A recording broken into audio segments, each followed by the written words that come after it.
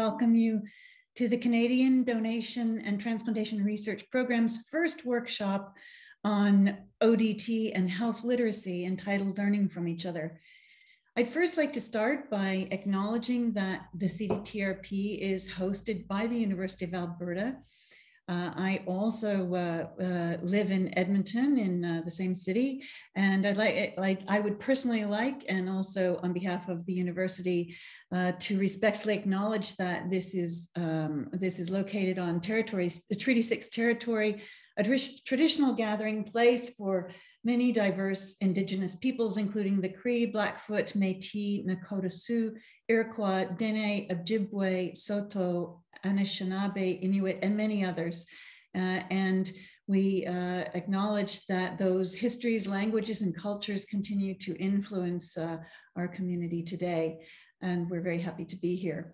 This event will be the first of a series in 2022 that aims to bring together journalists, as well as media specialists, both traditional and social media specialists, together with researchers, health professionals, and patient family and donor partners who have expertise in the field of donation and transplantation. So today we aim to engage members of the media, as well as experts in the donation and transplantation communities in a discussion that will lead, uh, that's aimed to lead to enhanced and deeper collaborations contributing to building a strong culture uh, and strengthening the culture of organ and tissue donation.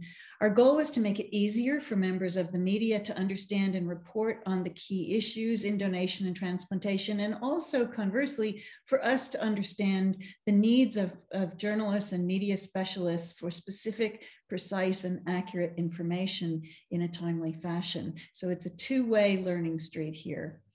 As an introduction, we'll hear about, uh, we'll hear from um, Belen Velasco Conquero, who is the Chief Communication Officer at the National Transplant Organization, or the ONT, which is the Spanish national authority responsible for the oversight, coordination, and organization of donation and clinical uh, use of organs in Spain, uh, organs, tissues, and cells in Spain.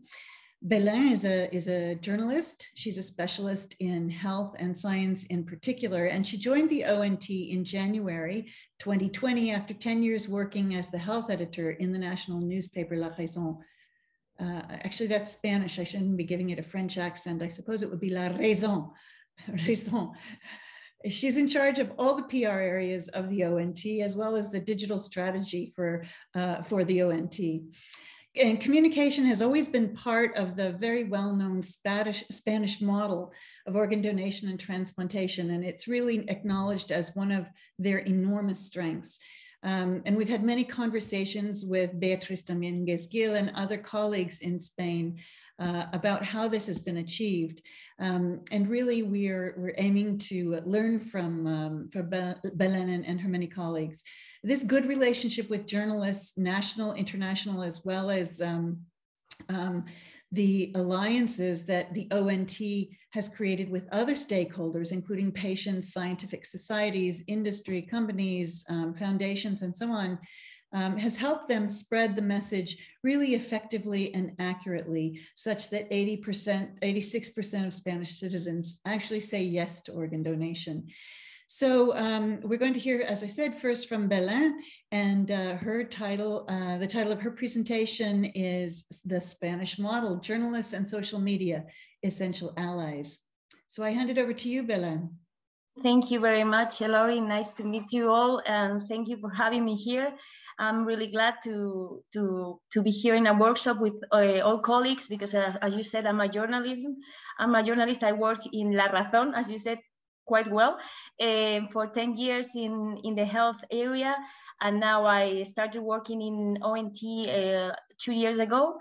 and and it's been really really challenging for me because uh, as you know the pandemic and the covid-19 has been a challenge for all the journalists here and here in spain so i'm going to try uh, as you said to to show you how we work here in spain how we work with media how we work with journalism and with journalists and uh, how does this help us to send the message to all the, the citizens here in Spain that we have, as you said, a really high uh, percentage of people that say yes to donation and, and it's it's quite uh, awesome but it's also because of the good relationships relationships we have with with journalists.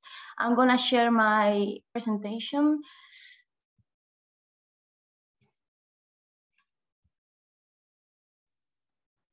can you all see it?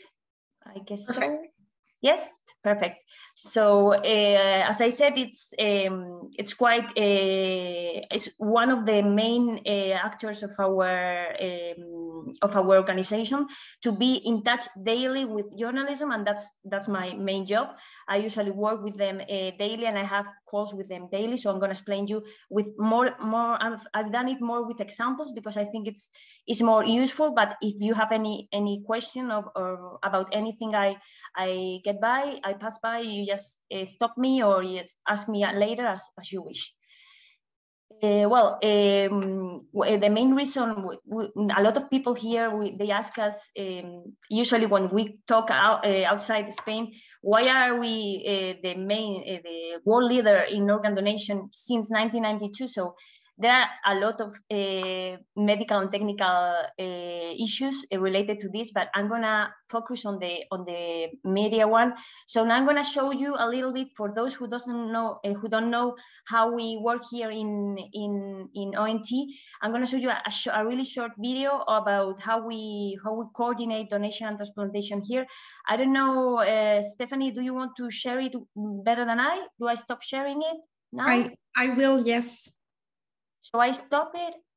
Okay. But there are more reasons behind Spain's success. Although presumed consent was introduced in Spain in 1979, it was only with the introduction of the Organización Nacional de Trasplantes, the National Transplant Organization, a decade later, that the donation rates really began to improve. Transporting a donor organ in time can be a real challenge, a heart may last for just four hours, a liver up to eight hours, the pancreas only seven, kidneys perhaps as much as a day. It falls to coordinator teams in hospitals across Spain to know which patients want to donate their organs in the event that they die. And, crucially, to find out if their loved ones consent to this after the patient's death. It is often end of life conversations that doctors and nurses have with patients and their families through which consent is given. Taking the time to introduce organ donation to a patient's relatives makes it much more likely that they will consent in the event of death. In Spain, it is increasingly common to find donors in their 70s, 80s, and in a few cases, their 90s. Last year, the oldest deceased donor was 91, Organ transplants can have great cost savings too. By performing thousands of kidney transplants a year and keeping patients off dialysis, healthcare systems can save over twice the cost of all their solid organ transplants. Five years of hemodialysis, which uses an artificial kidney outside the body to filter blood, would cost over 160,000 euros more per patient than a transplant. All things considered, it is far more likely that you will require a donor organ than die in conditions that allow for the donation of your own organs. Spain has led the world in organ donation for decades. So, what's stopping other countries catching up? Well, this uh, I'm gonna share it again. Thank you, Stephanie, for for the backup. So this is a, a, video we, we did for, for a UK um, journal in uh, 2018, but it's quite quite uh, the same we work uh, right now. And uh, um, I don't know if I can pass. Oh yeah, of course. I want to show you this little um, in this in this slide how do uh, people here in Spain uh, think about organ donation. And as you see, we have a really, really high percentage of consent and of um, people that would like to be organ donor after their deaths, as, as, I show you here in the in this slide. It's really unusual here in Spain to ask people uh, what uh, what are their feelings, how do they feel after uh, if they would like to be a organ donor, and we usually have, as as Lori said before, like around 86% of affirmative answers. So it's quite useful. And here is when, when I start my, my role. I, I like uh, to show what my colleagues here in Spain uh, this this slide sometimes, or I put them a, a, short video because as you, a lot of you may may know this this uh, this TV series, uh, this TV show, uh, the newsroom that's that was uh, launched in in 2012 um, they show a lot of how they work in the media and how they try to to show people the the truth and the, to be transparent. And it, it was really difficult for them to show the uh, this. And they as as i put it here they try to to show the the, the audience the role of, of real journalists to be transparent to be uh, to have a key role in in the, our societies that it's to show the reality of what is happening. And for us in ONT is really, really important. Here I, uh, I will like to, I will, after, after this slide, I will uh, give you examples of all of this, but I want to show you in these four uh, points, what are the main, um, the main focal points for sorry, for us to, to work uh, with journalism. As you see, we are available. I, I'm my colleague, I have a colleague that works with me, Maria, and we work uh, almost every day. Uh, if someone calls or needs something, or there's uh, an emergency, or I don't know, we we try to to get them the information, and we also have a really, really, really good spokesperson. That's our chief. That's Beatriz, uh, who Lori talked about before, and she she knows how to deal with them. She's prepared. We show her how how to um, talk with media, uh, what kind of things she must say, how how to be more more near. So this is very important for us and for journalism here in Spain because they call us and they know they will have an answer. So connection with journalists here, and I, I believe everywhere, it's essential and a good control of the information without intermediaries. I, I, mean intermediaries is that we, ONT, we are part of the Ministry of Health here in Spain, but we work on as, as an autonomous um, institution. So I work by myself. I try, I, I usually have uh, conversations with the uh, with the team over there in, in the ministry, but they know I can work uh, and I can deal with, with things just, just by myself because it's easier and it's faster. Uh, here I try to, to give you some examples. They are in Spanish, but I, I translated here the, the main titles of kind the kind of um, relationships and the kind of uh, news we offer journalism journalists here in Spain, and they ask us for. Uh, in one side, the, the one of the this, this mother she, she had a traffic accident, um, a car accident, sorry, and his uh, her son uh, died in the car accident. And well, uh, as as you see, she she she get disabled and she was in a wheelchair. Uh, but at that moment, in that tragic moment, she decided that she wanted uh, to donate the organs of, of his of her son. And for her it, it was really a relief. So uh, we this kind of, of news all here all journalists when I, when we tell them we have this kind of, of testimony they, they really enjoy them.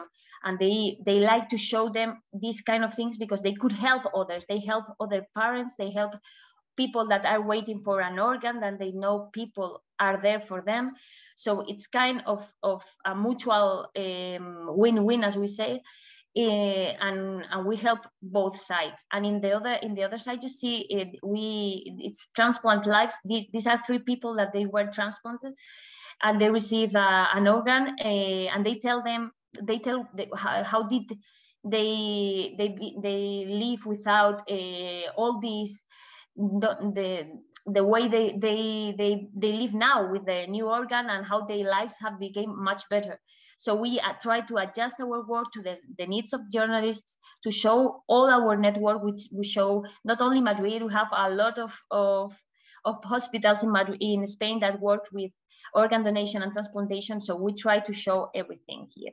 And of course, uh, it's very important for us also to show the work here in ONT. And as I show you here, this was uh, the main, the core, these three, uh, these seven people uh, they built what we know now as the ONT. They were like a, a, doctor and seven nurses who started this this huge adventure. And and last year, one of them, uh, the one I show you here, it was uh, he he retired. She retired. So I asked. Uh, I told the, the story of this this nurse and how she uh, worked so hard here in ONT to one of our of the journalists, and he he was amazed about the story of this woman, and he he did this this piece. So it's kind of very very um, for us. Is it, it helps to show everything that we do here, not only patients. Well, uh, I show here uh, in this uh, slide like three examples of how we may have Eh, eh, controversial, project, controversial projects and may, we may explain it better as we just have the, the xenotransplant there in the, eh, in the States, or we have like in 2020, the first uterus transplant here in Spain. So uh, we try to elaborate internal QA and fix an, an unique position and our spokesperson, Beatriz, she, also, she always knows about the news that are happening. She, she, she's like mm, always in charge of, of all these things and how to explain it to people. It's really, really important to show, to explain it to the journalists the way they understand it as, as you know because if if they understand it correctly they will uh, after uh, show it and uh, write it correctly so it's it's a quite important thing to choose the, the spokesperson uh, here, I don't know if you know, but here in Spain, we have the transplant law protects organ, organ donor privacy. So we try to guarantee the, the anonymity of organ donors and recipients because in the past, in the, in the first years of, of activity, we had some problems with uh, with this uh, with families that keep try to keep touch. I don't know how it works there in Canada, but I know that in the states they it's they are they are allowed to to meet each other, but not here in Spain, as we try to protect privacy from one another, as the law uh, says. But we sometimes the the thing I I, I show you here the this news it's that sometimes we can't. Uh, protect everything and and here in Canarias in the islands they started an, a hard program and it was so easy when they the journalisms the journalists over there uh, write the first piece that uh, the families try to uh, keep in touch as i saw you here in the in the facebook picture i saw you um, well we we act quickly and we this happen sometimes but it's really really uh, we don't we don't have this kind of of problems usually because here the journalists know how important it is to protect it. So they call us to ask uh, can i say the date? Can i say some so it's very um, our it's very easy to work with them and they work with us so quickly and so engaged that that i think that's uh, one of the our main strengths well, and uh, social media, just pass by some social media, how we work in social media, because I think, as most of you know, uh, it's essential also to have a presence in social media.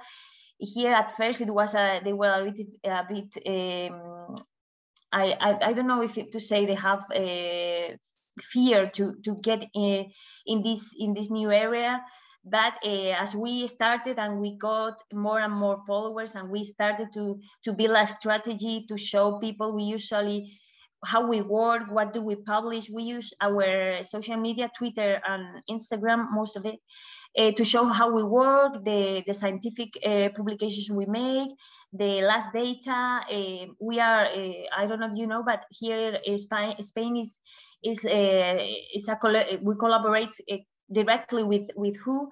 So we elaborate all, all the um, all the data about don donation and transplantation activity in the world. So for us, it's very important also to show everything we do here and to show how the activity worldwide uh, works. And we also use the social media just um, as I show you here to answer questions or to detect uh, possible crimes, like a, a, question from a from a young one, from a teenager that he wanted to become organ donor. So he asked us, and we uh, faster we we answered him that it's it, we were really proud of him, and it was uh, very nice to hear from him at that age. But we have also uh, some questions and some uh, sentences and of people that want to of, or try to ask us if they could sell a kidney or um, they are people that they don't really know uh, what they are saying. We believe they they they, are from uh, countries with uh, wealth really really low. So we just explain to them that this is a, a crime and, and, a felony. And so we we just try to to show them that's not the best way of acting uh, well, in in Instagram, we also have presence. Just uh, September 2021, we started with our um, with our uh, we started uh, working here in Instagram because we saw it as a as a main um, role. We have to be where potential bone don- bone marrow donors may be.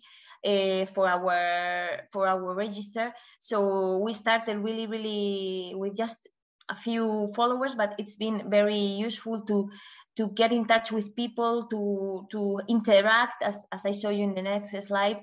They ask us a lot of things, organ donors, patients, recipients. They, they tell us uh, their, how they feel, how, how they expect their, uh, their life to be. And it's, uh, we're, we're creating a community with them. That's very important for us also to, to create all this, this way of thinking in Spain of organ donation as, as part of the end of life. Uh, we did, we also make specific campaigns uh, related to, to what we do or to or, and we um, we um, we use it uh, in Twitter, we use it in Instagram, and we also send uh, press releases uh, with the Ministry of Health to show them the activity or, or any news we believe it they may be uh, interesting for journalists. Well, we have also uh, YouTube, but uh, we just use it uh, to create like with all the coordinations and with all the scientific societies and with the patients. We we are really really we close so uh, we work so close, so we use it as to you to to to webinars, to use it for webinars or special days like the donor day or the transplant uh, national day, and it's been really useful also for for that for that issue. And I just want to finish my, my introduction with um, how, how COVID um, 19 impacted uh, here in Spain, I guess uh, in Canada too, but most of it, how we managed to, to control this crisis, for me, it was like really challenging because I was like, 2G, uh, I, I became uh, the chief officer here in January 2020, and this started in March. So it was like two months just to, to keep in touch and to, and to know how it worked. Uh, after 10 years in, in a journal, so it, uh, we decided uh, we have to, to make it an opportunity. So we saw how um, transparency as, main, as one of our main values here in ONT and um, and just to be accessible uh, uh, an entire the, the network uh, so they can help us also to translate uh, to to show uh, patients and to show uh, citizens here in Spain that we were working for them and and, and we didn't stop. And just here, the, my last slide is I just put here in, in some words the like the main tips we have here to survive in the media and, the, and in social media and as I told you in, in my in my presentation, we, we try to be really close to journalists. We avoid technical terms and give a lot of examples to them so they they they understand quite good how, how it works and how our activity works.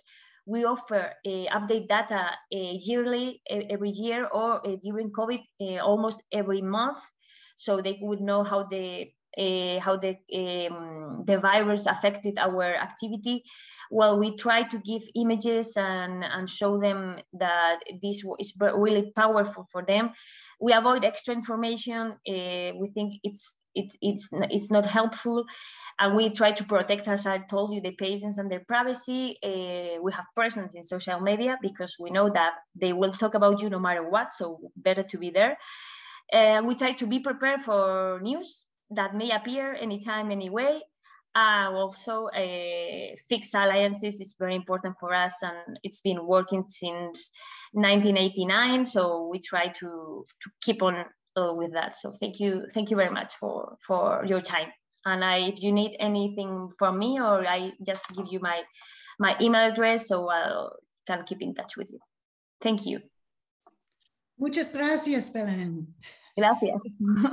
It's a wonderful introduction. Uh, thank you so much for giving us that overview of how things are going in Spain. It's certainly inspiring.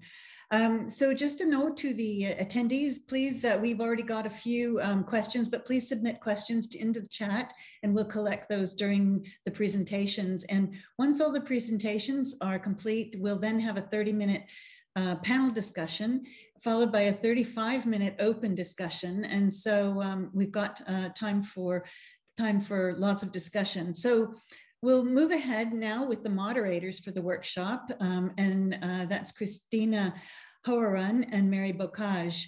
Cristina is an award-winning investigative journalist and documentary producer with City TV in Toronto.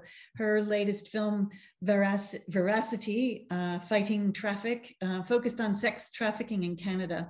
And Cristina was embedded with a group of advocates to stake out uh, various hotels and identified Johns and traffickers in London, Ontario. It's a project she uh, could not have under, understood doing um, just a few years ago because she had been diagnosed with end stage kidney disease in early 2018 uh, and found herself joining many thousands of Canadians um, undergoing dialysis uh, for hours every day. But Cristina was also lucky to be the recipient of a kidney from um, a, a courageous donor, her cousin Christine Hodgkinson, and she shared her journey from diagnosis to transplant with City TV viewers and with Chatelaine readers. Cristina is the recipient of the Kidney Foundation of Canada's 2021 Award for Public Awareness, and we're very excited to have her here today. Mary Beaucage is Anishinaabe from Nip Nipissing First Nation outside of North Bay in Ontario. She spent 24 years uh, working with people in uh, the field of retail management Mary has type 2 diabetes and was diagnosed with end stage kidney disease in 2013, uh, for which she too underwent dialysis. And in March of 2015, she received a kidney from her cousin in Manitoba. Mary is well known to this group of uh, to, to, to, CDTRP investigators and, and um, and um, members. She co-chairs the CanSolve CKD. Well, she does so many things. She's uh, the, the CanSolve CKD Network's Patient Governance Circle and Indig Indigenous Peoples Engagement Research Council, and she's a, a CDTRP theme lead. Um, Mary recently became a board member of the National Indigenous Diabetes Association, and she's been a presenter, a panel member, a facilitator, uh, provincially, nationally, and internationally. Uh, we know Mary as a, as a, a, vulnerable and engaging storyteller who um, trusts you with her story. She's interested in educating and advocating in matters of Indigenous health, patient partnership, chronic kidney disease research, as well as in donation and transplantation. And so uh, at this time, I'll turn things over to Cristina. Cristina, please go ahead. Oops, you're muted, uh, Cristina. Yes. You're muted. No, I think you're, yeah, there you um, go. I'm here. I am. Sorry about there that. There you go. thank you, Lori, and thank you, Baleen, for a very informative presentation. It's really interesting to hear and to see how um, things are happening out in Spain and how you do work with journalists because it is so important quick side note, and I hope nobody minds me saying this, I just want to congratulate Mary. Um, I just found out today that her CanSolve CKD received significant funding um, from the CIHR. And I just think that she's a phenomenal moderator, but a phenomenal person. And I'm really happy to hear that her research projects are getting the green light. With that being said, I would like to introduce you to our first speaker for the workshop. His name is Timothy Caulfield. Now, Timothy Caulfield is a Canada Research Chair in Health Law and Policy, a professor in the Faculty of Law in the School of Public Health, and the research director of the Health Law Institute at the University of Alberta. His interdisciplinary research on topics like stem cells, genetics, research ethics, the public representations of science and public health policy has allowed him to publish over 350 academic articles. He's won numerous academic and writing awards and is a fellow of the Royal Society of Canada and the Canadian Academy of Health Sciences and he frequently contributes to the popular press. Now, just a quick reminder, we're going to invite everybody to post your question in the chat during presentations and our panel discussions. There's going to be an open discussion at the end of the session. So just remember, if you've got anything you want to know more about, just hit the chat and type away your questions. And I know that uh, Mary's going to be monitoring that very closely. So let's get started with our first presentation. Thank you, Timothy. Thanks so much, uh, Cristina. And uh, my presentation is going to be very straightforward. Uh, I'm really here to, I think, warm everyone up about uh, why uh, the media matters. Now, this may seem obvious. It may seem obvious, especially after that wonderful presentation by Belén, uh, but it's important to reflect on the degree to which this is the case. The media really does matter. At the Health Law Institute, with my colleagues like Robyn Hyde-Lay and, and Sandro Marcon, we've been studying this for decades. And we've been studying how health and science issues are represented, not only in the popular press, which is going to be my focus in my brief time here, but, but also on social media. And we know it has a tremendous impact. That, that may sound obvious, but it's important to recognize that, that the media really does, how it, how it frames things does impact actual policy. We've seen this in our own research in the context of things like you know, stem cell research, reproductive technologies, gen genomics, and of course, of course, of course, in the context of COVID. It really does matter. It has an impact on, on public and patient expectations. There's been really interesting research done in the context of transplantation there. So how this is framed in the media impacts how the public thinks about this. Uh, and and and some indication, some indication, and I'll come back to that, that it even has an impact on clinical decisions. We've certainly seen that in other spheres, again, stem cell research, unproven stem cell therapies, a good example of that. But this really does matter, a tremendously important topic. Uh, and I think especially, especially now and in the context of policy.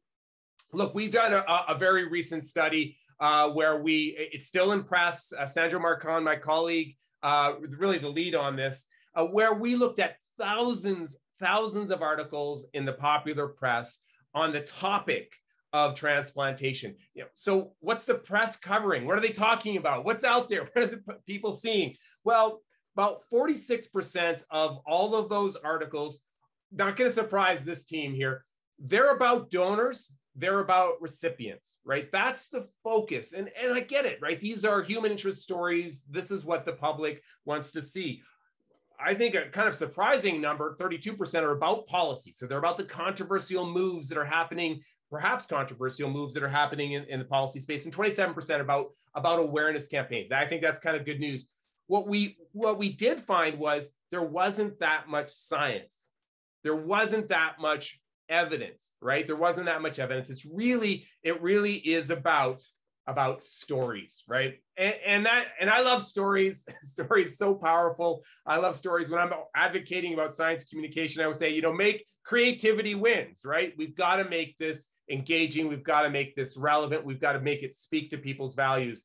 But but it really is about stories, right? There's there's fascinating research, and I'm sure many people are aware of it, that talk about the potential harm that stories, testimonials, anecdotes can do uh, in skewing the direction of how the public views a topic. So, for example, there's a really interesting study from 2016, and there have been a lot of studies on this, by the way, that highlighted that you know an anecdote, a testimonial, especially if it resonates with you, right, can overwhelm your critical thinking skills. It can overwhelm your uh, how you perceive the relevant data, and of course, we've seen that happen play out in the context of, for example, COVID and how risks are portrayed around uh, are misportrayed around around the vaccines. Uh, anecdotes can resonate and they can have a real impact. We have to remember that stories matter. I love stories. I love narratives, but we have to recognize the, the role that they can play. And one of the roles that they can play is they can emphasize something we call the rule of rescue. And this is something that at the Institute we've actually done a, a lot of work on in the context of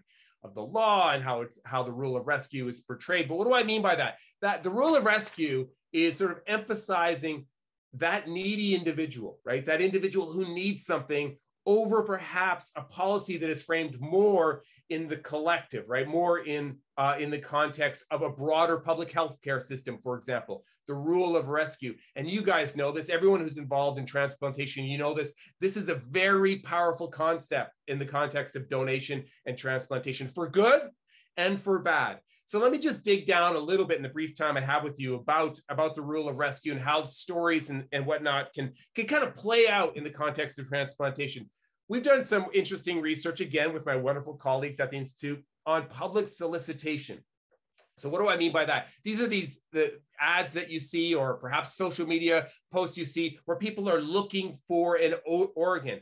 And we did a study where we compared how, how the, uh, the, the story about Eugene Melnyk and, and the Wagner family, both, both parties looking for a liver donation, both using public solicitation, how that played out in, in social media, how that played out in the popular press, very different. The Eugene Melnyk, the owner, I'm billionaire, I think he's a billionaire of the of the Ottawa Senators at the time, uh, the Wagner family, uh, young young uh, twins, all in the need of, a, of an organ donation, played out very very differently. Um, but both both stories, uh, stories and the rule of rescue can also have an interesting impact on emerging technologies. We've do, we're doing studies on how precision medicine is being portrayed uh, in the public sphere. So using genomic testing, for example, to optimize the delivery of organs. That sounds like a very, very good thing, right?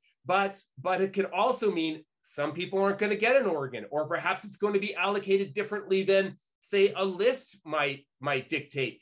The rule of rescue and how the media portrays this can alter how the public, and we've seen this in the research, how the public thinks about emerging technologies, even if in the aggregate it's a good idea, how the media portrays this can have an interesting impact. And then let's talk about what, you know, played out over the pandemic vaccine policy, right? Uh, this was fascinating. And this is something that we are going to study at the Institute. How the media portrayed the requirement that you need to get a vaccine before you get a transplant was fascinating, right? Again, rule of rescue, talking about stories. It was for me remarkable the degree to which the idea that uh, getting a vaccine or requiring a vaccine before transplantation was viewed as controversial, right? That's how it was portrayed. That was the story that was told, right? Uh, and that is a really good example of how stories, narratives can can have an impact on the public discourse. Um, and the last one I want to highlight is false balance. And I think this one is really important, especially in the context, especially in the context of policy. So what do I mean by false balance? Well, that's portraying a, a two positions as if they're equal, right? As if they're equal, as if the the body of academic opinion is equally split. And we saw that all the time. We've done a lot of studies on this. We did a big one in the context of of natural herd immunity in the context of, of COVID. And we found that, you know, there was a lot of false balance out there. So false balance, falsely balancing an issue can have a real impact on public discourse, it can have a real impact. Impact studies tell us on, on patient and public perceptions, and even on clinical decisions. False balance can have a real impact. And so, why am I raising this here? Because we have seen the degree to which work uh, that my colleague Sandro Marcon has done has found that you know loud voices, a, a handful of loud voices, can really dictate how a an issue like opt-out policies in Nova Scotia, for example, how it's portrayed in the popular press and how it's portrayed on social media. Now, before I, I close, I, I want to talk about one more, I think, really important issue. And this is, again, something that we've studied a lot, uh, a lot in uh, at, the Institute, and that is the issue of hype, the issue of hype. And, and this is something that we really have studied for, I think, three decades. It's embarrassing to say, but their hype can do real harm. And, and there, that, that's hype across the spectrum. So we've seen hype, for example, on, on xenotransplantation rate lately. Very, very exciting, but often portrayed as if it's a near future solution, right? That can do harm, that can create un, uh, inappropriate expectations. We've done studies on hype in the context of the marketing of, uh, of cord blood products, you know, as if Everyone needs to bank their cord, their kids' cord blood because their stem cell therapy is going to be available tomorrow, right? That can do real harm, right? It can be exploitive. But there can also be hype on the other side. There has also been hype in the context in the context of of transplantation. You know, what transplantation can actually do for an individual. As everyone involved in this knows, transplantation is just part of the journey. It's not the end of the journey, it's part of the journey. And unless that journey is portrayed accurately, we can do harm not just to patient expectations, but to the policies that surround the transplantation uh, system. So yeah, uh, the media matters. It's really, really important. The conversation we're having today really, really matters. Thank you very much to all the organizers for bringing us together because I think I think this discussion is so so important. So thank you very much for that opportunity. Thank you very much, Timothy, for an informative uh, presentation. I just want to remind everyone to post their questions in the chat during presentations and the panel discussion. We'll have an open discussion at the end of the session. Now we'll hear from our next perspective on ODT, organ donation and transplantation from Dr. Aviva Goldberg. Dr. Goldberg is a pediatric transplant nephrologist and an ethicist in Winnipeg, Manitoba. She is the section head of pediatric nephrology at the Max Rady School, College of Medicine, rather, she is the secretary of the Canadian Society of Transplantation and chairs the Kidney Allocation Committee of Transplant Manitoba. She co edited the first book on pediatric transplant ethics. Her work focuses on transplant ethics, medical education and support, and equity, diversity, and inclusion. Over to you, Aviva. Thank you so much for that kind introduction, Mary. And thank you uh, to all of you for being here and to the CDTRP for hosting this exciting workshop today. Um, what I'm going to try to get across is admittedly from the perspective of a pediatric nephrologist, um, but I'm going to try to represent the views of the ODT community as best I can here.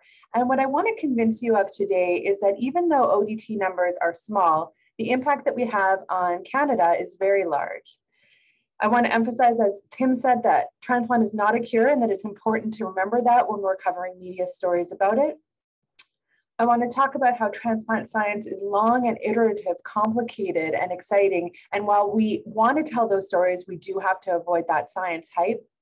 And a little bit about miracles and a plea to uh, view them as something that we can make uh, with the science and technology that we have to offer. So first of all, I do want to acknowledge where I am. So I'm here in Winnipeg, which is on the original lands of the Anishinaabe, Cree, Oji Cree, Dakota, and Dene people, and the homeland of the Métis Nation. Uh, we respect the treaties that were made on these territories and acknowledge the harms and mistakes of the past and we dedicate ourselves to move forward in partnership with Indigenous communities in a spirit of reconciliation and collaboration. And I want to particularly thank Mary for being one of the people who's taught me how important it is not just to read these land acknowledgements, but to understand how they relate to the work that we're doing. And that's absolutely one of my goals is to continue to, to learn and to do that more. I also want to thank you. Now, you, normally this comes at the end. Stephanie thought I'd made a mistake in my slides, but I again want to thank you for being here. And I want to thank you, especially those of you who are here from the media, because I know that it is a very crowded media landscape, that there is a lot going on, that there are very few um, media outlets in Canada that have dedicated health reporters who can spend 100% of their time on health issues. So I know that it, um, when being here means that you're not somewhere else. And I just want to thank you for that. I also want to acknowledge that we know that organ donation and transplantation is a small part of the health landscape in Canada. While in 2020, there were 490 living donors here in Canada, 730 deceased donors, and 2,594 people who received solid organ transplants, that number pales in comparison to the quantity of some other health issues in Canada. And I tried to make this to scale and that the, the numbers just were so tiny that you couldn't even see them. So this isn't to scale, but there were over 300,000 people who died after heart attacks in Canada in 2020. And of course, at least 3.64 million COVID cases, that many reported, but of course, many, many more that took up a lot of what we talked about. Um, and uh, so we know that ODT numbers are small. But I would argue that ODT is and should be a part of our national identity. So Belén talked about in her presentation how much the national identity of Spain is tied into what they do around organ donation and transplantation. And I would argue that the same is true in Canada. Of course, there's no story more public or more um, uh, known to the public probably than the story of Logan Boulet, one of the young people who died in the Humboldt bus crash and whose parents, on what is the worst day of any parent's life, so were able to see through their grief and donate organs so that other people could live, even as their son, even as they were saying goodbye to their son. And of course, Logan's uh, donation did not affect only his recipients, but the whole Canadian community, right? They started Green Shirt Day, a day where we recognize organ donors and promote organ donation. This is the Winnipeg sign here in Winnipeg lit up green on our last uh, uh, Green Shirt Day just last week. This is the Boulet family in Taber, Alberta, speaking to a group about organ donation and transplantation. We care about this in Canada. And it's not just huge stories like Logan's, which of course the Humboldt tragedy is one that all Canadians know, but there are smaller stories too. There's the story of Sharon Kidwell of Prince George, uh, who received a kidney transplant, and her story was covered in the Prince George Citizen. Josiah Munn from Fredericton, who got a heart transplant just a couple of weeks ago, and CTV Atlantic covered his story. Or closer to my home, Tyler Neufeld, who died a few years ago and his family was able to donate his organs. He's here from Steinbach, Manitoba. And as Tim talked about, those stories are so important. It's important that we tell them well. And it's important because we still have work to do. Because although Canada is, you know, in the top third of countries for our deceased donor rates um, in 2020, and even maybe in the top quarter for living donor rates, we still lag far behind countries like Spain and the US in deceased, Turkey and Israel in living donation. And because we don't have enough organs to go around, there were 292 Canadians who died in 2020 while active on transplant waiting lists, and we need to change those numbers. Tim spoke to it a bit, but I want to emphasize something that we tell all of our patients and I think is so important to say in media reports that transplant is not a cure. If you are a transplant recipient, you will be trading end organ disease, which is terrible and often deadly, for another condition, one where you need to take immunosuppression medication for the rest of your life. You need to have other medications, usually to deal with all those side effects of the immunosuppression. You need to come see doctors and nurses and hospitals for monitoring and medical care. You need money to pay for these expensive medications, even if you have a good provincial uh, drug plan or private insurance. And as a pediatric nephrologist, I'm acutely aware that you might also need a second or third transplant over your lifetime. So I think it's important that when we're telling these stories that we reflect this reality. It's not all sunshine, and we need to be able to tell the whole story of transplant. Now, interestingly, we are working in science, not myself personally, but the ODT community on something called tolerance, which would mean that we actually would put in these organs and be able to use therapies so that the body would not um, be rejecting these organs and that all of these things need for constant immunosuppression would uh, decrease. So while transplant is not a cure, I'm hoping for a future where that is one day the case. And that's the other thing I wanted to talk about, the exciting science that's happening in the ODT landscape.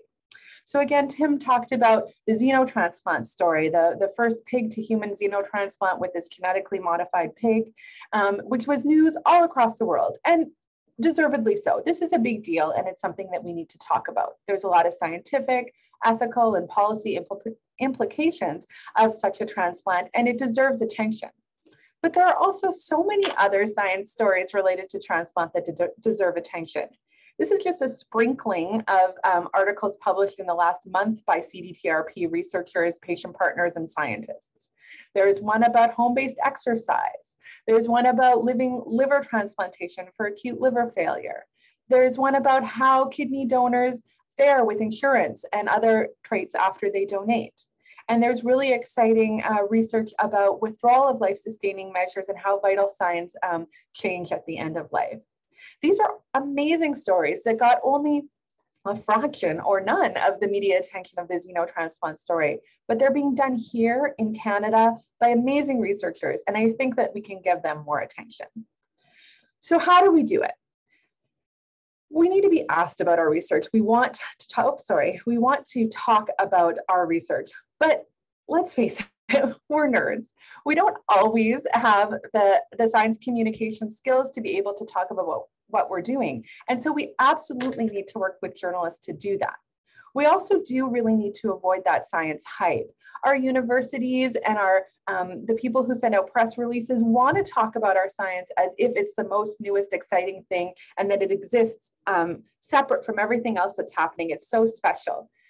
The truth of science is that it's iterative, that we build on the work of others again and again and again, and it's a process, and that we need to acknowledge how big that process is. I want to talk very briefly about miracles, and it doesn't take long when you look into media reports to see a story about miracles. This is one from a UK newspaper just a couple days ago about a woman who had two kidney transplants and then was able to get pregnant with uh, and have twins. It's wonderful, and it's called A Miracle Story, and they go in the article talking about how the doctors told her it would never happen. What happened for this woman is one definition of a miracle.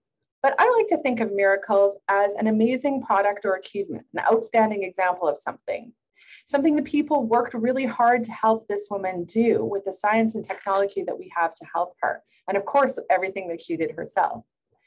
Some people view miracles as a surprising or welcome event that's not explicable by nature and that is the work of God or a divine agency. And that's fantastic. We should be talking more about faith and spirituality in health all the time.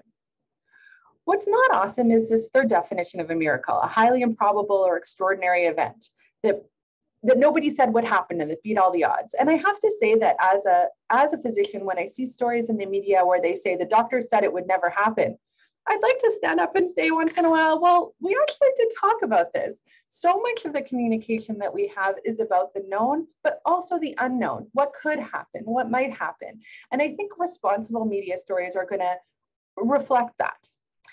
If I can close by just highlighting one responsible media story that I just absolutely love, and I think Alan's in the audience today, is a story from the, the Free Press uh, here in Winnipeg uh, a couple of years ago. Alan Small, a journalist at the Free Press, got a kidney through living donor paired exchange from his friend Jill. And he, they both tell an amazing story here, but he finishes off his um, part of the story by talking about a miracle. He says, I look back at the last 14 years and the whole thing is a miracle the doctors and the nurses who got me back on my feet, the medical team that looked after me before and during dialysis, the people who helped me during and after the transplant, my friends, my family who cheered me up when they cheered me on, and living donors and Jill. What do you say when thank you falls so far short? Because of her, I have time to come up with an answer. So we talked about the miracle as the people who made them. And for me, it really touched me when I read this. So again, I went over a couple of things today and tried not to go too far over my time, but I wanna thank you so, so much for being here, being part of our workshop today, and I look very much forward to the discussion that we have. Thanks again.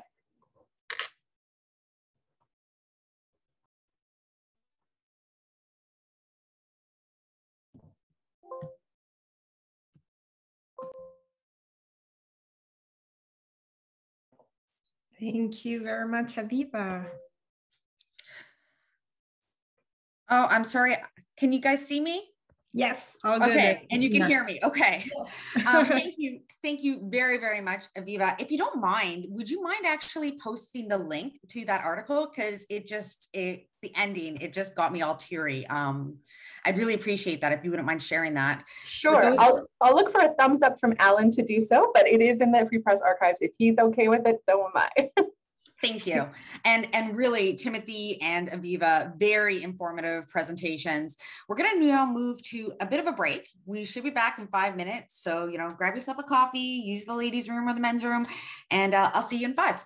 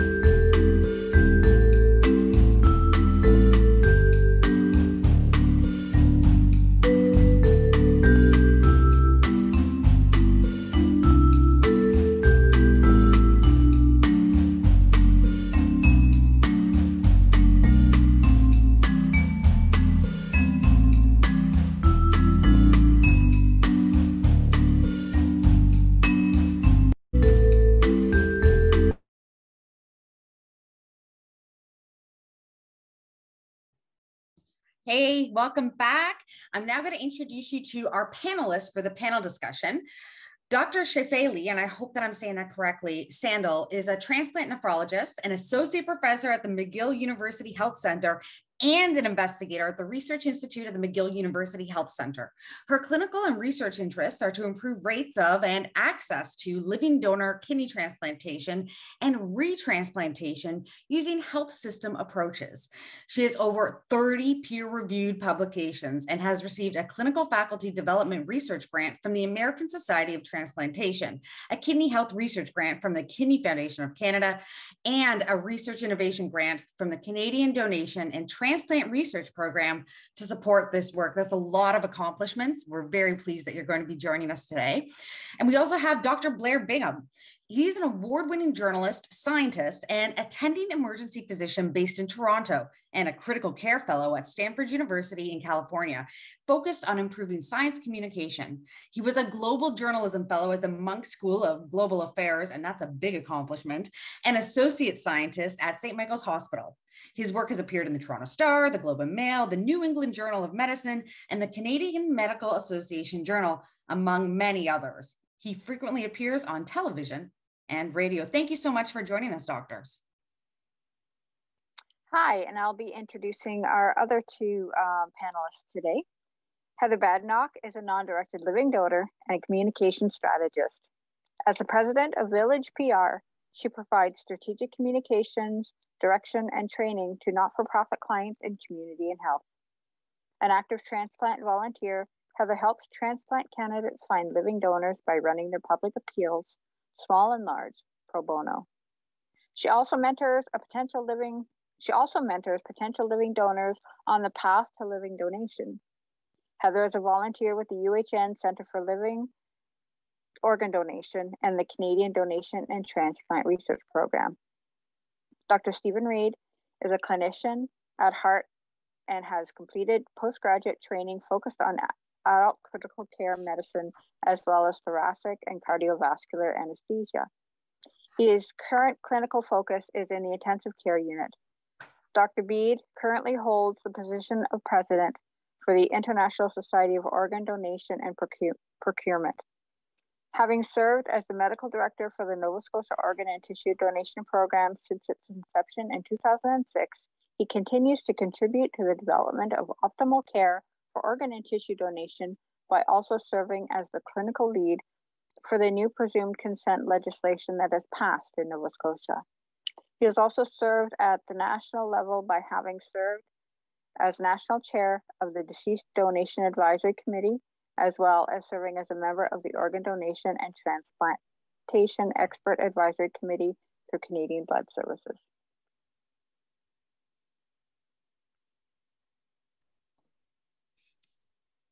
Um, Shaifali, you can uh, start now with your uh, five minute commentary. Uh, perfect. So I loved what Belén said about good control. Pardon? Go ahead. Yeah. Oh, okay, sorry. Um, I love what Belén said about good control of information. And the reason I think that is such a good phrase is because of the following, uh, that I just wanted to share my screen if I'm allowed. And uh, sure, yes. Because of things like these. Now, I know I'm playing on the passions of the people who are watching this, but I just want to point out a couple of headlines that appeared in quite reputable newspapers over the last few years uh, that have um, that affected me, affected my patients. So a line like this. Recently, something like this. And second, something like this.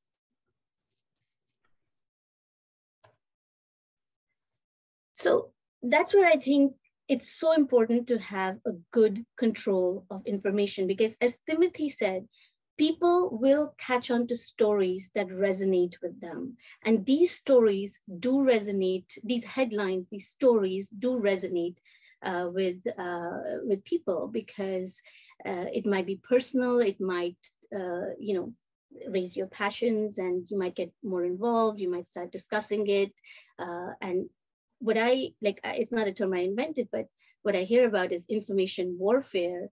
Um, i'd also add to that is that there is covidization of the news that is being reported. So in all of while all of this is going on in the interest of science and medicine, I do like the phrase a lot, which is called good control of info, information, as Belén said.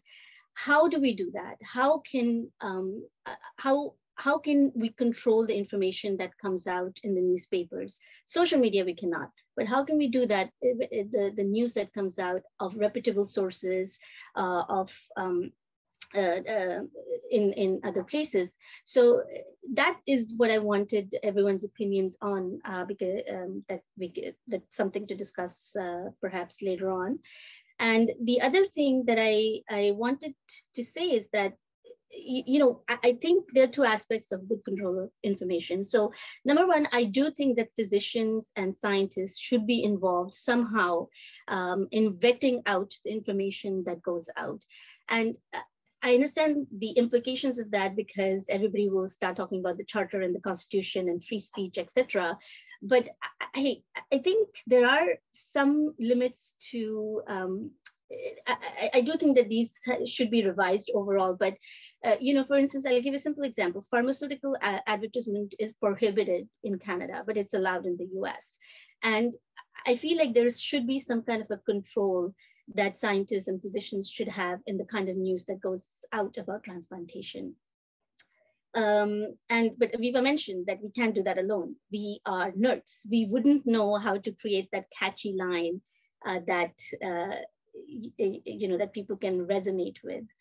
Uh, so I, I, think journalists and uh, scientists and doctors need to work together to somehow give a unified message out and control the information while we are in this information warfare and in this um, uh, in the in the midst of the covidization of the news that's coming out uh, one more point i just want to make uh, because and i'll be short i know many people have raised some excellent questions it is uh, the involvement of health professionals in social media and i am not as much as I use social media, I'm not a great person who engages. I have very few followers on Twitter, and uh, I have my Instagram, which is private, and I don't use Facebook. Uh, but I recently asked transfer professionals, what do you think about that? What do you think about the fact that we as physicians um, and are not involved in social media?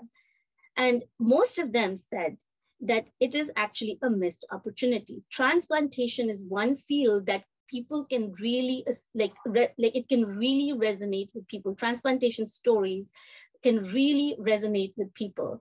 And it's a missed opportunity that we don't do enough of it that we don't with an appropriate ethical oversight share uh, inspiring uh, stories of our patients. And i'll share one more screen if i'm allowed because one of the person who has done a great job at this is this individual. It's Dr. Arvind Soin, who is um, who was a co, uh, like somebody I asked this question to in the in that paper that I wrote, a perspective. Now he shares these amazing stories, and I'll just share two with you. Something like this. It's it's such a cute story, and how can you not like this? How can this not um, increase uh, transplantation. And he shares these stories, these amazing stories. They're all over his uh, feed. I'll share one more if I scroll down. Right here. You know, two women shared, uh, donated the liver to their fathers, and he posted their pictures and he did it with the appropriate oversight. So that's where I think uh, I think we as a medical community do need to engage more uh, in two ways, not just to promote our field, but also to be involved in the control of information that goes out about our field. And that is all that I would say. And I'd love to hear uh, everyone's thought on how can we do that by staying within the law, within uh, you know, the ethics of our profession.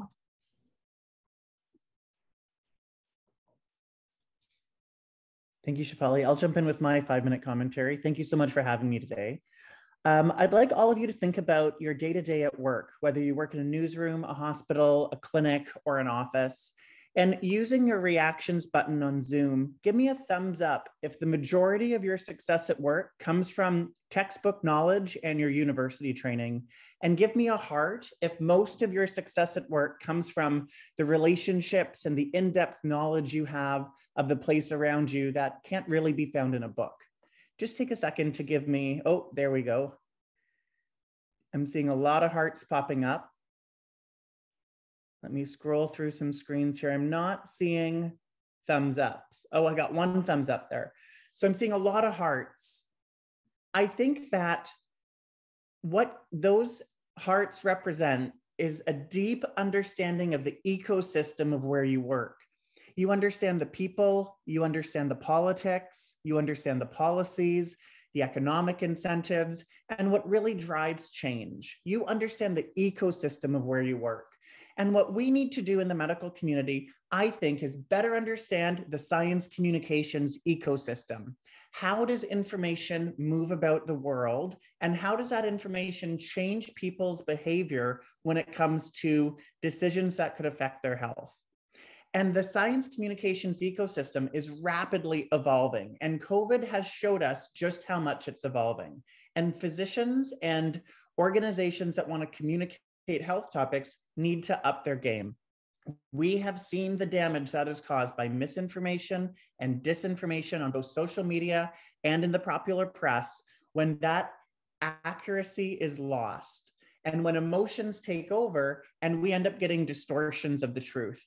We need to be able to be involved in that discourse so that we can guide it because we can't control information in the public sphere. But what we can do is contribute to the discourse that's happening. And hopefully, we're able to guide that discourse in a direction where individual people are able to make good health choices for themselves.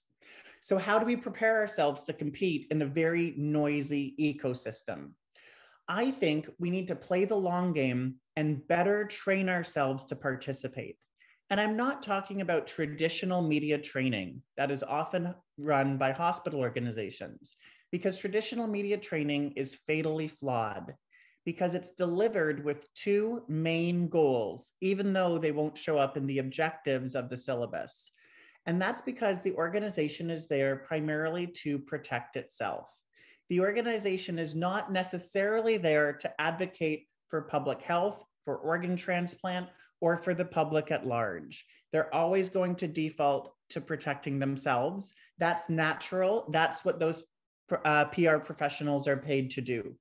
And when they train people in media communications, they train them with that angle in mind. The next thing they're there to do is promote. But again, they're there to promote the institution that they represent. And so, what I'd like to uh, um, advocate for is a shift in the way we train physicians to participate in that dialogue and communication. And that shift is to bring in simulation. Physicians, nurses, paramedics, respiratory therapists, we're all used to simulation as a training tool to get better at delivering healthcare. We can also bring in simulations of a newsroom. And so at Stanford, what we've been doing is playing with the idea of a simulated newsroom where we bring medical students, residents, fellows, faculty, and allied health into a situation where we put them in the role of journalist, editor, and news consumer and we run them through exercises not from the perspective of an organization, but from the perspective of the journalists who we hope they will interact with more and more.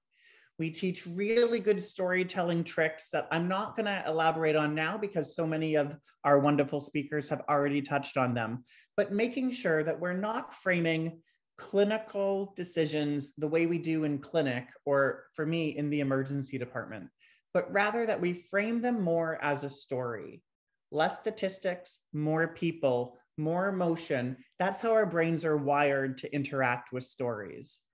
And so, by putting physicians through longitudinal storytelling training, I think they'll be better suited to engage the public in the health communications ecosystem and better advocate for whatever it is they feel needs advocating. And I'll pause my comments there, and I really look forward to the debate.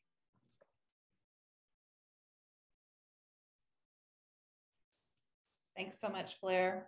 I guess I'm going to jump in here. Um, so I just want to say first that I am in Ottawa and I'm on the unceded, unsurrendered territory of the Anishinaabe Algonquin Nation.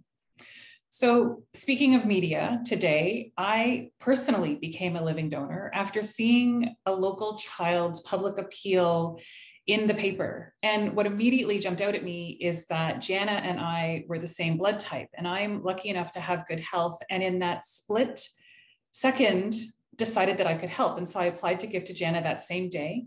Later learned the really good news that she had received uh, the transplant that she needed from the dad of one of her school friends. And then I stayed in the process and became a non-directed living donor um, liver in 2018. But it was a media story that got me started in the first place. As Mary mentioned, I'm a communication strategist and I've worked with the media for more than than 20 years. And journalists want to tell compelling and also unique stories. And I think what everybody, not everybody realizes is that they welcome hearing from you with story ideas. And what I'd like to focus on is that these story ideas can include people looking for living donors. And so after becoming a donor myself, I became much more involved in transplant and learned about the long and, and at times devastating list um, and how often people are unsuccessful at finding living donors and don't get the life-saving transplant that they need. So as a, a pro bono volunteer, I've started helping patients on the waiting list with their, their public appeals, uh, small and large, from, from emails to, to friends and family that are really quite private, to, to social media campaigns and media pitches to journalists. One of the patients that I've been helping was on the front page of the Ottawa Citizen three weeks ago, and that generated many, many phone calls to Toronto General, we're told, from people who are offering to, to be screened to give to her thanks to the many excellent speakers, you've heard lots of tips already for working with the media. Um, so to build on what's been said so far, I'd like to be really specific and talk about the key messages and the important points to make for anybody here that's supporting patients through the process to find a living donor for themselves. Because all too often, by the time someone um, comes to me, they've exhausted, you know, family and friends, and they're not really sure where to go next. And so, for anybody who's here, who's who's working with with patients, so if you're a you know a social worker, a clinician, et cetera, please ensure that your patients know the blood type if they're looking for a liver, the blood type that they are eligible to receive from. So many liver patients know their own blood type, but don't know the range that they are eligible to receive from. So, all too often, I'm talking with a patient who's A positive, and they don't realize that they can receive from A positive, A negative, O positive, O negative, and this makes the net much, much bigger.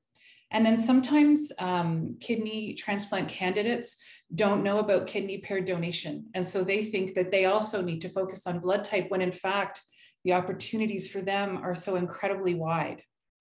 When doing a public appeal, patients need to say the city that they are in and also the city that the transplant will take place in. And I say this because, you know, sometimes the hope, if we've gone past friends and family, you know, if we've gone past that really kind of quiet phase and into a much broader, maybe social media appeal, the farther away from their network that that post gets shared, which is, of course, the hope the less likely it is that someone knows, oh, you know, you're Sheila from Ottawa. They don't now know if this is Sheila from Texas or Edmonton or where exactly Sheila is. So, you know, saying where you are and seeing where the transplant will take place is incredibly helpful. Also, an incredibly important key message is how to contact the transplant center to get more information and to apply to be a donor. I cannot tell you the number of times that we see media articles where there's been an incredibly compelling story written about someone who needs a transplant with no information on how to apply. And it's heartbreaking to think that this all this work is going to go to waste. And i can't tell you how often i reach out to that media publication or that newsroom myself to say like i found the link. Please add it to the online story right away emphasize also, and I really appreciate um, touching on um, past public appeals that received, you know, better or worse um, coverage or were more negatively or positively received because one of those really negatively received appeals led to this notion that public appeals are queue jumping when in fact public appeals are quite the opposite. And so we often say in in appeals that go public that and this is oversimplifying you know so clinicians don't all email me at once here but by finding a living donor a patient gets themselves off the waiting list for a deceased donor and everyone else behind them moves up by one. Again, don't all contact me at once. And so the living donor, in fact, saves two lives. And that is the opposite of queue jumping.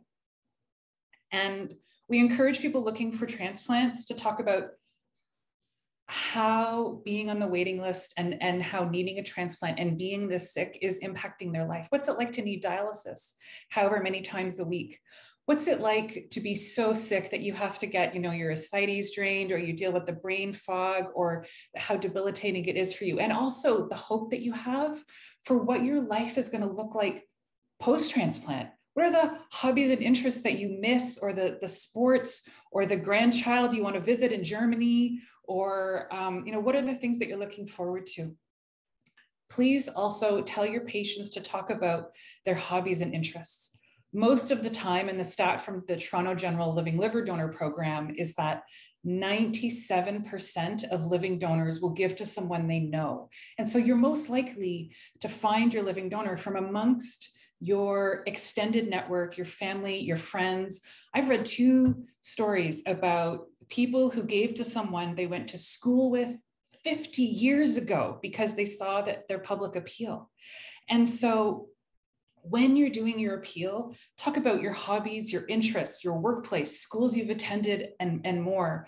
Last year, worked on a public appeal for a gentleman named Wes. This is very much public. Um, and, and Wes is a, is a cyclist in Toronto. He had liver cancer. And I say had because we found him a, a donor. And the photo that we used for Wes's public appeal shows him in cycling gear. And he his public appeal got picked up and spread throughout the Toronto cycling community, not because they all knew him, but because he was one of them. And so they spread that appeal like wildfire. Of course, Wes found a donor from a friend of a friend, someone he'd met distantly and had a successful transplant um, and is, is doing really well. So this is some key tips to build on the excellent information that's already been shared. Um, I encourage anybody who's working with patients uh, to help them find living donors to make sure that you're sharing this kind of information with them. I am working on a, a project funded by a, a, Canadian foundation to scale up what I currently do one-on-one -on -one with patients to support them as a volunteer because we want more patients to understand how to help themselves and how to get the support that they need. Um, so some of you may be hearing from me uh, in the coming months and you're always welcome to, to put questions in the chat or to, to reach out. So uh, thank you. Thank you so much for the chance to speak and I'm handing it off to Stephen next. Well, thank you very much. And, and thank you for the invitation. This is really quite a quite an amazing panel. And as I was contemplating what I might be able to contribute, I, I struggled a little because I, I don't quite know where I fit in except I reflected on how I started this journey, and I've I've thought about maybe a theme that that the people listening, as opposed to the people on this this panel, might might reflect on is the potential power of the medical voice. Because when I started, I kind of assumed the leadership of this program and had no idea that people would start phoning me to speak about this topic and that the reporters in the neighborhood might actually look to me as an authority. Why? They want to talk to me. What do I know? What I've learned over the years is that the power of the medical voice is still substantial for good or bad, as we've discovered, you know, some some, you know, bizarre theory gets way more traction because the guy or or girl who's proposing it has has doctor in front of their name. That's just a reality. But my point in, in bringing this forward is for many of our community, whether they're lay public or whether they're the healthcare community at large, the medical voice still carries a lot of weight And it struck me how random the selection was for who that medical voice should or would be in my community. I ended up inheriting this because I was the phone number that they had. And, and that was way too random for what could or should be a really powerful, powerful opportunity. And over the years, I've discovered a bunch of things. One of them is that not everybody is good or comfortable with interacting with the, the media. It's intimidating for some people who have an enormous skill set in other areas. And so, one of my pleas as we collectively try to move an agenda forward is to look to your, your professional circle and the selection of who should be that spokesman shouldn't be random. It really should be who's the best storyteller in your group, so to speak. You know, that's actually a skill set that that some people either innately have or they develop, but it's different between people, and they need to be the person who gets to tell that story. It will resonate. It's not something that's inherited if you want to be effective. I didn't appreciate how the medical voice can or will resonate, and it's it does. The other thing that I've discovered is that in many cases, the media that you're dealing with, especially in today's day and age where reporters are pulled in many directions, they got that assignment from their editor that morning. The day before they were hiring, they were covering, you know, a new playground on the other side of the city. They don't know this topic. And so your responsibility often before you go on air is to flavor the message that you need them to be communicating, filling them in on the backstory. Quite commonly, I will do a, a three minute segment that will be a one hour conversation so that when the when the reporter and their editor are putting things together they have context that doesn't come from a 3 minute conversation and i didn't appreciate that in the beginning but it's certainly true now the other thing that I really like doing is I like doing live interviews because then I'm controlling the message. There's a lot of situations where the 30 minute conversation with a reporter is distilled down to a soundbite that they picked that may or may not be the right message. The reality, I guess, as, as we listen to these conversations and contemplate the 60 people out there who are listening, is, is that the communication with our colleagues and with the public at large is really important. It can be very, very powerful. And so I think we need to collectively address it as a strategic priority, as, a, as opposed to the thing that, that Joe's going to do today, so to speak.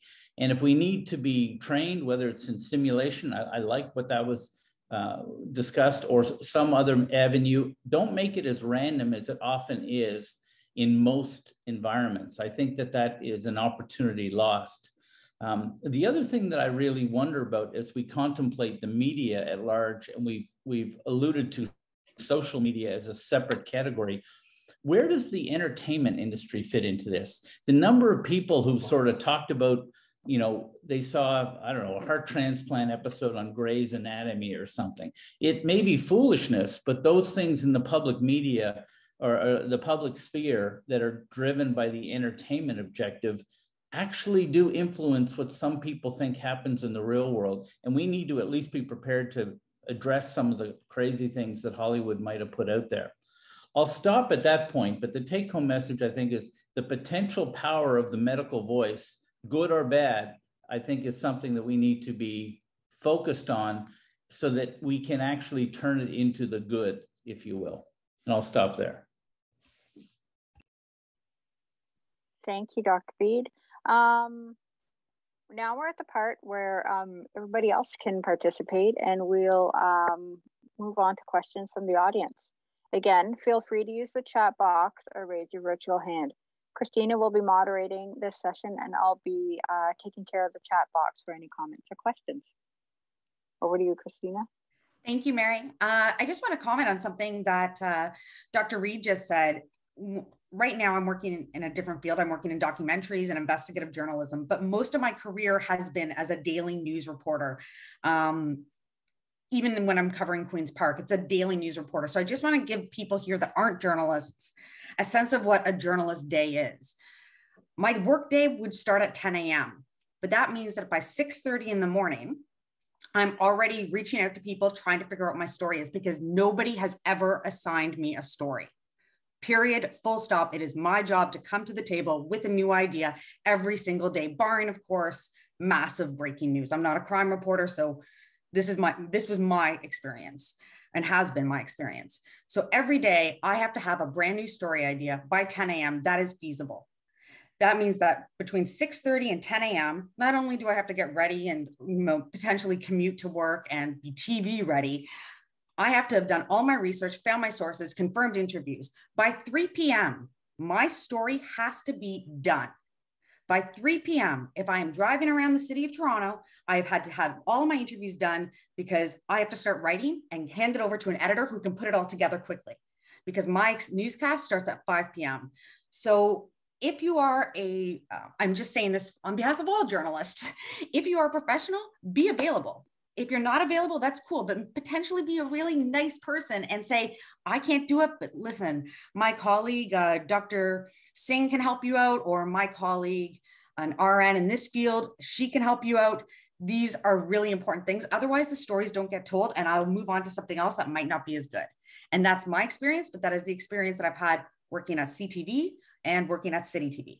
So I think that that's really important is that you have to get back to people quickly and their deadlines are not, um, they're non-negotiable because if I don't have a story, like my job every day was to fill two minutes of black. And if you want a nice write up, because I always prefer to read the articles, I never watch a news story, like a video on my phone or online. I read the articles. The earlier the better, because then I can give way more context, and that's important to me because I love the the narrative that um, Dr. Bigham brought up, but I also really love the stats because I'm a my background's in public policy. So I want that information, and the best way to convey it is in an article. So that's my pro tip for that. Um, but reaching out to the professionals, what stories do you think aren't being told within the organ transplant uh, and donation world?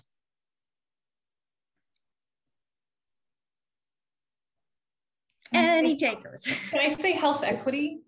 Um, I would love to see more health equity stories being told. I've tried to pitch them a couple of times, I think with permission, of course. I think about Dr. Mucsi's work um, at um, UHN about how, um, you know, racialized people disproportionately face longer wait times to find living donors. And I feel like that story hasn't necessarily been told. When I helped a woman last year to find a living donor, she is a racialized low income newcomer and we discussed whether or not she was comfortable with that story being told and for her she she wasn't and so we didn't make the link in that case but um, I think that that's there is solid research at this time focused on kidney as far as I, I know um, but I, I really would love to see those stories being told more. Okay. I think there's a couple things that come up a lot. That one of them is the general impression of Joe Q public who hasn't dealt with somebody who's awaiting a transplant. They don't understand that life while you're waiting for a transplant is really hard. Like, oh, well, you know, you're on dialysis, you'll be fine, or whatever. No, they're living a really tough life. And, and I think that people who have family members or whatever who are on that list, they get it for sure. But the, the general population sort of have this, um, I don't know, pasteurized version of, of what life might be like for these patients. It's really tough. And the second theme that I think is, is worth highlighting, and I always do, is when people think about transplantation, they almost always look at it through the lens of the potential recipient. We need more organs because somebody's life will be saved. But one of the things I think we need to point out is that in many, many cases, the opportunity to help somebody is the only good news that's coming to a donor family. It's really, really uh, an important part of, of the legacy they carry forward of their loved one, that some solace in the middle of what's nothing but bad news. It helps with the grieving process. So supporting donation and transplantation is clearly going to help the recipients, but it's also something we can do for the donor families. And that's one of the ways I've tried to connect it to ICU colleagues who are not donation focused. it's like, well, this is really just part of optimal end of life care. It's not about finding an organ for some anonymous patient we've never met. It's about optimizing end of life care for the family that's right in front of you right now. So the donor benefit, that's an important thing. If, if I can add to what Stephen said there, I think, um, and sort of reflecting on what uh, Belén shared with us was um, one of the stories shared in Spanish media that struck me was a story of the people involved in creating the organ tissue donation community, right? There's a lot of those great stories um, to share, and it's um, it's it may be about how the organ tissue donation community has come uh, to be uh, what it is today.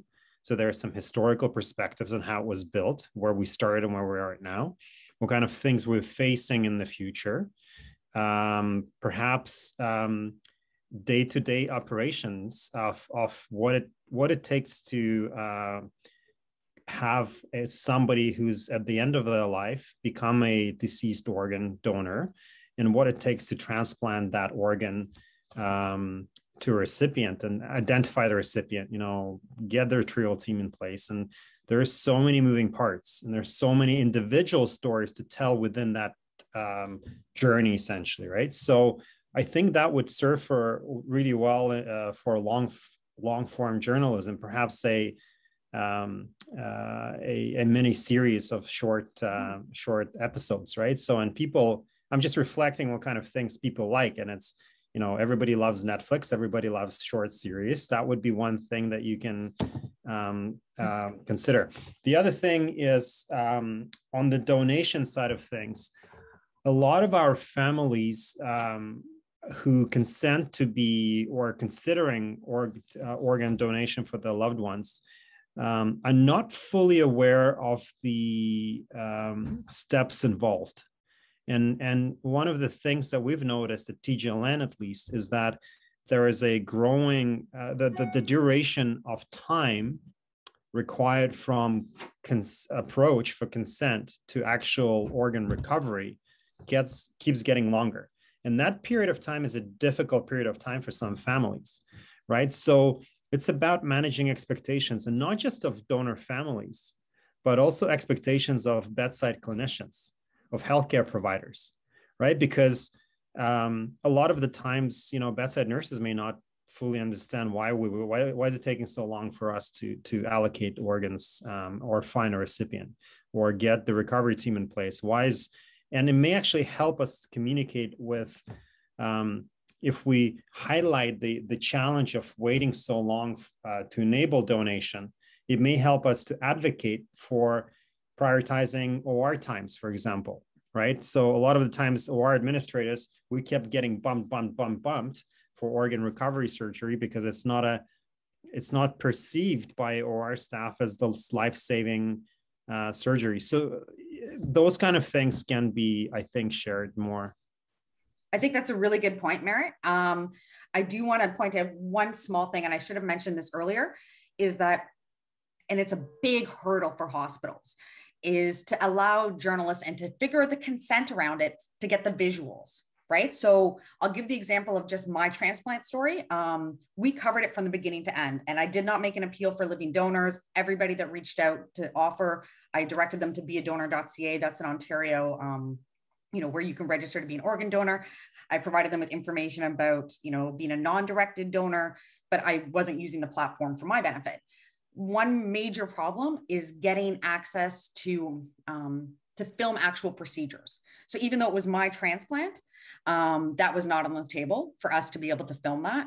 Uh, we filmed a lot of stuff in the hospital, but you can't get the visuals. And for a lot of the stuff, even if you don't have to be in, you don't have to be in the OR. And I'm speaking from a television journalist perspective, but to have the proper um, visuals is very important, particularly in visual storytelling, because interviewing a doctor in an empty, um, you know, I don't know what you would call them, those little rooms, I guess, where you go and get examination room, um, being, you know, interviewing a doctor there is boring and horrible, and the white, the walls are white, and there's it's barren environment, and it's not appealing.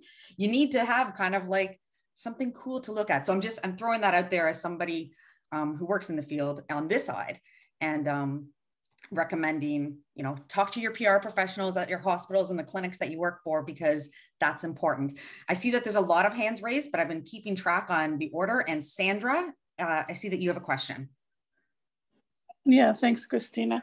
So one of the things, I'm a liver recipient of 25 years and quite often share my story and sort of help direct what comes out of that story. So it's not just about me it helps improve the system. But one of the things I think media could help with is sort of normalizing death.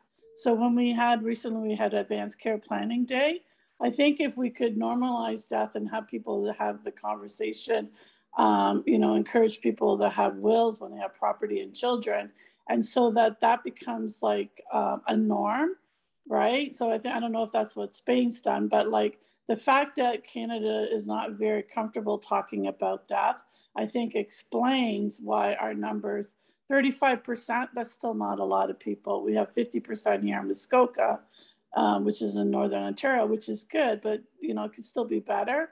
But I think that if we have people to have the conversation, uh, make their end of life wishes and include organ donation, then we can normalize that conversation. So anytime there's advanced care days or anything that's talked about palliative care, I recently did a thing called the waiting room about palliative care. I even think we can start talking about palliative care within transplantation as well. Um, and then also what uh, Stephen said too. Yeah, I had that told to me so many times waiting for a liver. Oh, well, you could just go on dialysis. No, that's not for livers, that's for kidneys. And even going on dialysis for kidneys is not great. Who wants to spend anyway so yeah we need to make people realize and the other thing is is that what we're trying to do with covid is get people to appreciate what a life is like living being immune compromised and that's some of the articles i read. It seems like people don't care right? And they don't understand and even the fact that we're not wearing masks and stuff like that. So those are just some key areas Sandra, I think these are really good points. And trust me, I hear you. Um, not wearing a mask is not an option for me right now. I'm going to head over to Dr. Sandal. You did have your hand up. Oh, you still do. Okay, great. Um, I love what you said about visual. I, I think that's what we don't do enough of. Uh, having that visual of the patient, of the family.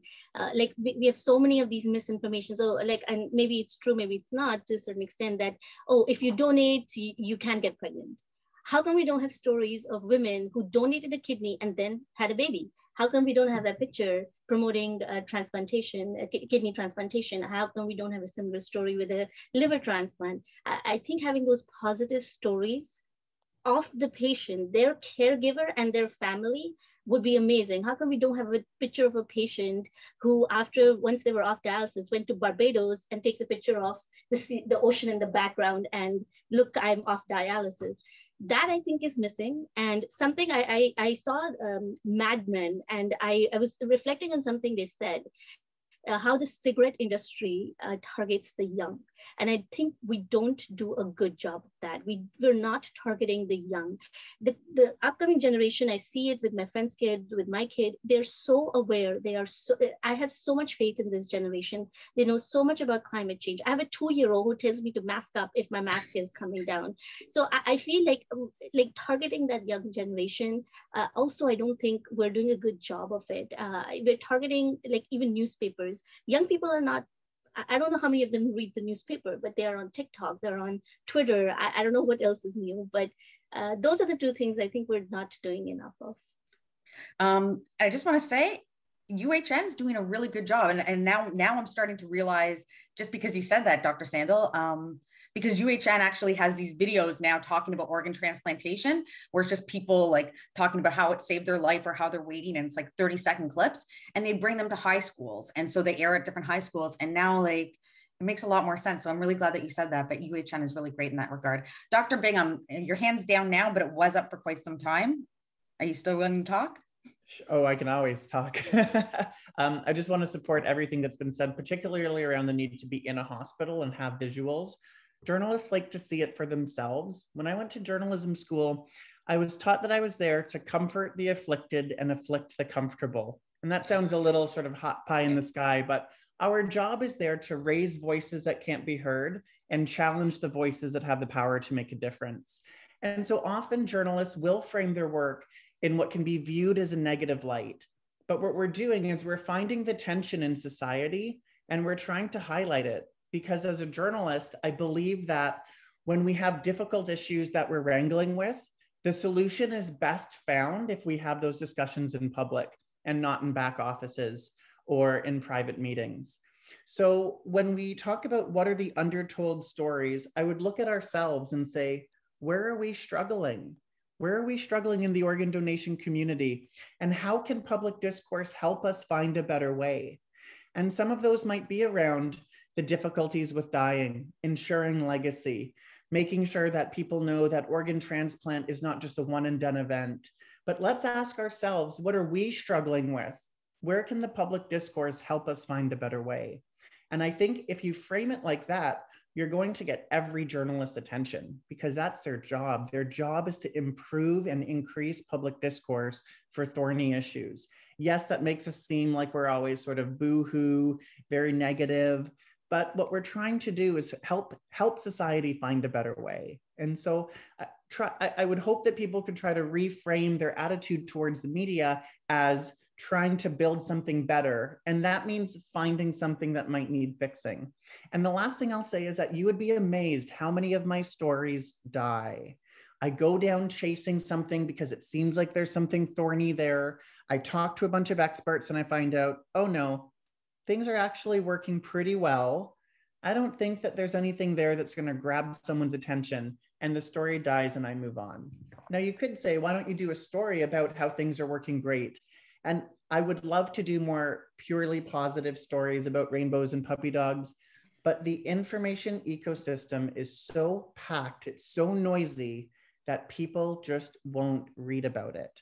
And that's sort of just a reality that I struggle with very much as a physician who's also trying to bring out an advocacy angle is how do I be more positive?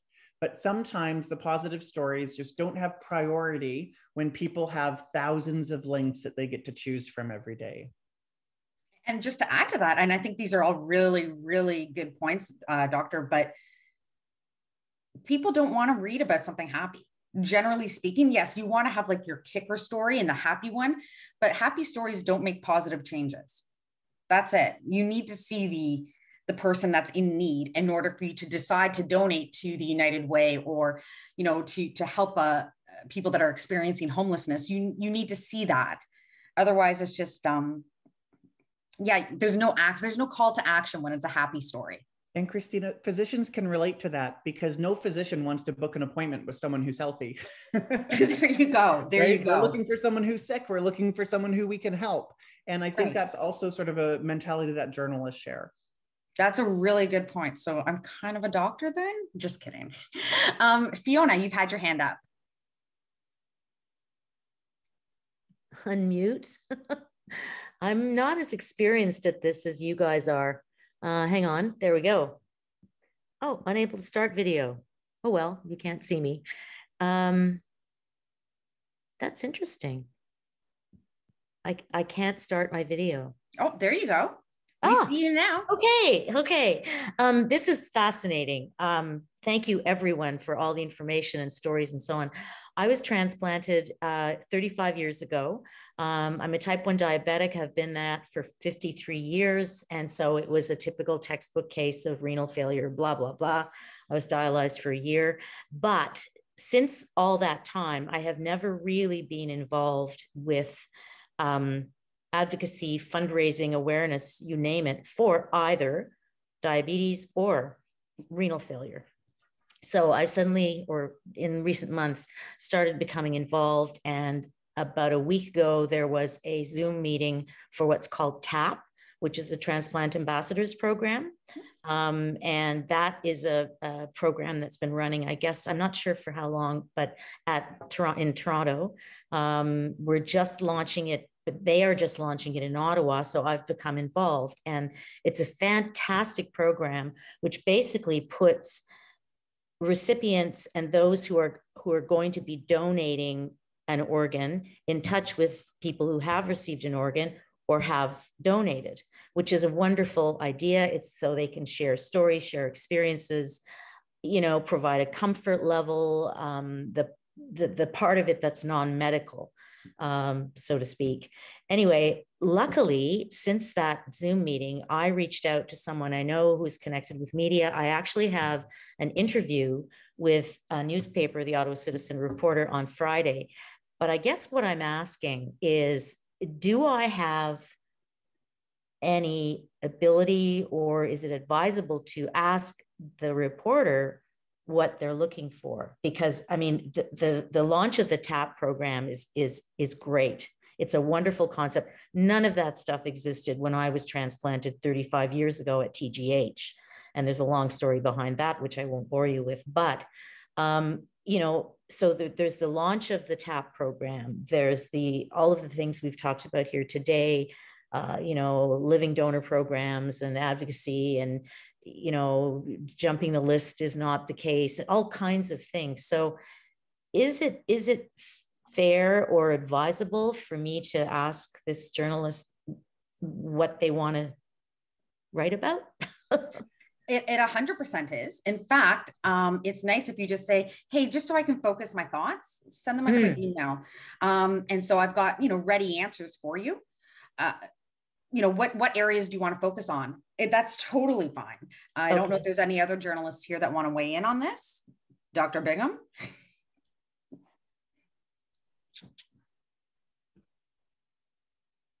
oh I, I want to make sure that everyone has a chance to speak so i'm just gonna um, i'll hold my thoughts for a few minutes okay I can I can weigh in from experience, also knowing Fiona, who it is that you're going to be speaking with. Um, yes, journalist, and she's she's delightful, by the way. She's really wonderful. And um, he's also a friend of a friend of mine. So oh, she's great. Six degrees of separation.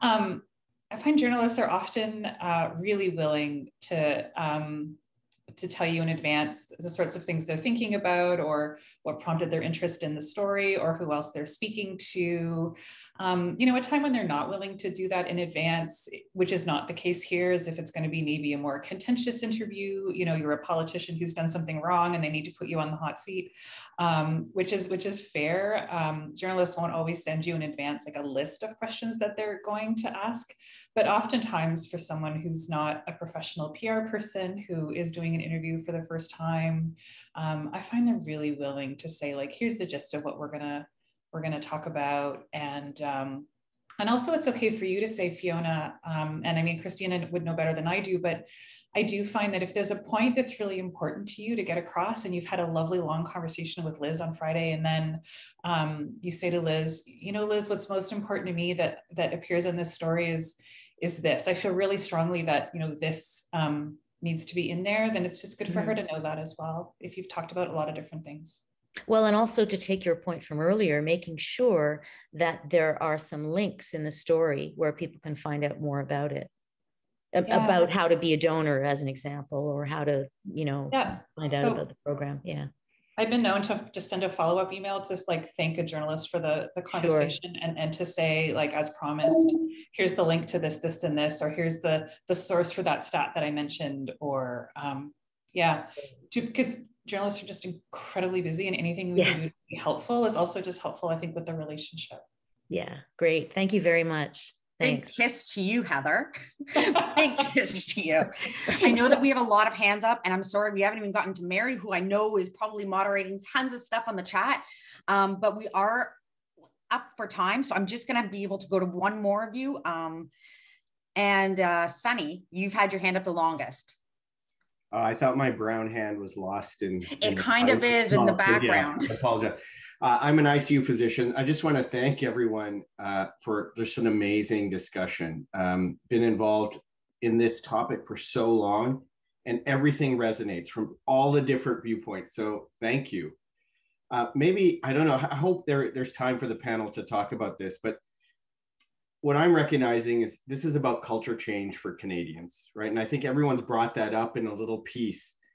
And when I remember big culture change, you know, like seatbelts and, you know, drinking and driving, it was the youth, I think, that really made the change. I remember, hmm, sadly, telling my dad, uh, I think you've had too much to drink. You can't drive. And so what are we going to do to mobilize our youth from the media standpoint? um, maybe a specific question. What are the role of influencers in social media? Um, is this something we can do to get, maybe we're, maybe we're looking to the wrong people, not the people who are in their 60s reading their newspapers, but maybe a younger generation. Any comments from the panel, please? How big a budget do you have, Sunny? Uh, let's say I'm loaded. Let's say. if you're loaded, it's the way to go. There, I, I think the information ecosystem is split in two more or less. There's sort of the organic social media, and then there's the traditional press, which is both sort of uh, sort of what would be considered traditional and new media. Uh, so we'll call that the popular press. The popular press, as Belén was saying earlier, involves knowing your journalists. If you're working in, in health advocacy in Canada, you should know every single health journalist who's on that beat. You should be friends with them. You should have their cell phone. You should be communicating with them every couple of months and catching up. You build those relationships. They'll come to you, you'll go to them, and you'll have a lot of trust with each other. And that's the way to go on the popular press, I think. When it comes to social media, I'm struggling with this because the algorithms are changing every day. Every year, there's a new platform that's doing better than the others. It used to be that if I got a thousand retweets, I was having a great day. Now on TikTok, you're looking at 800,000, 900,000 likes or views, and then your video's done well. The standards are always changing, and the way those platforms are interacting with, the, with each other changes. As a brief example, if I post a link in Twitter that takes somebody out of Twitter's website, it counts against me. Twitter doesn't want you leaving. Twitter wants you to go deeper into Twitter. Understanding this type of ecosystem is really important, and influencers understand that. Their job is to get your message out there. Sometimes you pay a fee, sometimes it's earned media, which means free media, and they do it because they believe in what you're doing. But just like I try to know every journalist in Canada on the health beat, I'm also trying to get to know all the influencers out there who have access to an audience that I don't have access to. I think I need to um, just say ting ting ting. Thank you, uh, thank you very much. Um, we're we are just uh, as Cristina's pointed out, we are just uh, at the end of our time. Um, my question was going to be, could someone please speak to the issue of false equivalency that Tim raised, but we'll save that for next time. Um, this has been an amazingly engaged and interactive group of people, and I want to thank all of you for participating so enthusiastically, for sharing your thoughts and your expertise, um, and uh, uh, you know, it's been a, a, really terrific audience as well as um, as panelists, uh, as well as moderators. And so I'd really like to thank you so much uh, to everybody for joining uh, this conversation. This is the first of what we anticipate will be a number of workshops. Um, and Blair, just to move on from exactly what you were saying, you've positioned us well for the next workshop, which will be on May 17th, and it will be specifically on social media. Uh, and so we will all be able to learn more about um, the kinds of things that certainly uh, maybe the younger and influence, uh, you know, the influencers and so on. I had to get my head around what an influencer was, but um, we'll be able to hear more about that. I'd also like to thank the CDTRP team for, uh, as usual, putting uh, putting on a terrific, um, you know, taking care of all these amazing um, links and smooth transitions from one thing to the other. So thank you so much to the team. And um, we will, uh, I think we have a method to somehow to gather up all the comments that were not addressed in the chat. And, and so we can have a chance to think about those and, um, you know, perhaps bring those up at a later date. So once again, thank you everyone for your participation and engagement.